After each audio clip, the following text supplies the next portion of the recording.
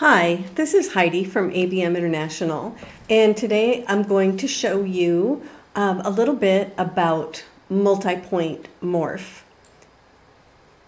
If you select a pattern and then open the morph tool, you'll see now you just have four points to pull on instead of eight.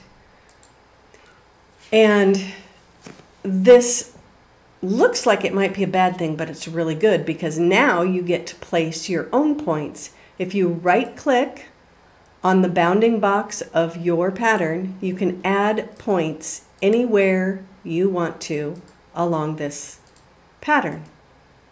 Whether it's a block you're placing or a border, say this border, mm, maybe I ended up with just a little spot that I need to fix because it's going to um, stitch on the border of my quilt because my quilt isn't perfectly pieced. Imagine that. And it kind of goes up a little bit here. I can just tweak that on the fly. I can use my sew head as input and move my sew head to that exact place, or I can just adjust a little bit with my mouse. Super easy and fast.